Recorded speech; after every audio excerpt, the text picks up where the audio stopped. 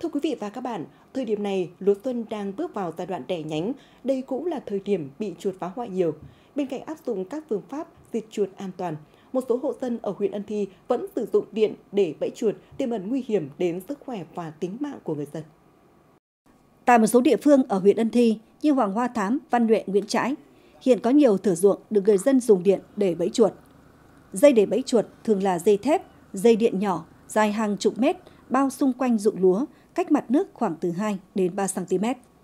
Một số hộ dân còn thắp bóng đèn nhỏ để cảnh báo vào ban đêm. Theo người dân cho biết, cánh đồng sử dụng điện để diệt chuột chủ yếu gần khu dân cư trang trại hay ở những gò đống cao có tỷ lệ chuột gây hại cao.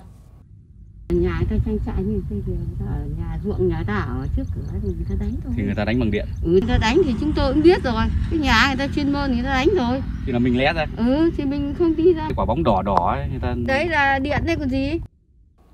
Còn nhớ vào tháng 7 năm 2020, xã Cẩm Ninh huyện Ân Thi có hai người tử vong do mắc vào dây điện dùng để bẫy chuột.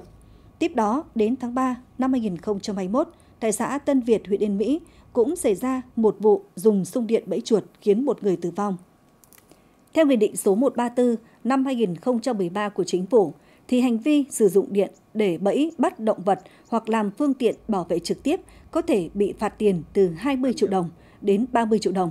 Nếu gây hậu quả chết người, có thể bị truy cứu trách nhiệm hình sự về tội giết người theo Điều 123 Bộ Luật Hình sự. Do vậy, để bảo vệ mùa màng, ngành chuyên môn khuyến cáo các địa phương thực hiện diệt chuột bằng các biện pháp hóa học, sinh học thủ công, trong đó biện pháp sinh học và thủ công là chủ yếu.